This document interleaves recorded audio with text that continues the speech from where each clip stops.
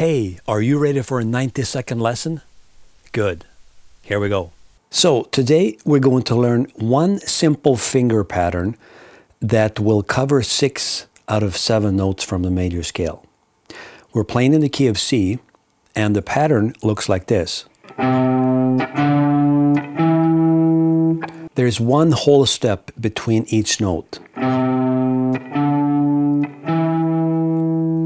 Then we're going to just take the same pattern and switch to the next string. So that means we have six notes. And they are root note, second, major third, fourth, fifth, sixth. And then for the seventh note, that's the one that's the odd one out. It's located here. But after I play that note, I slide up a half step. And then I play the same finger pattern as we did in the beginning.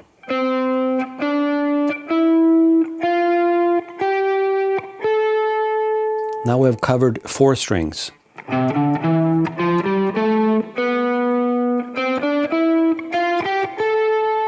Then we have now the seventh note is up here, the major seventh. After we play that note, we move the hand up, and guess what? We have the same finger pattern again.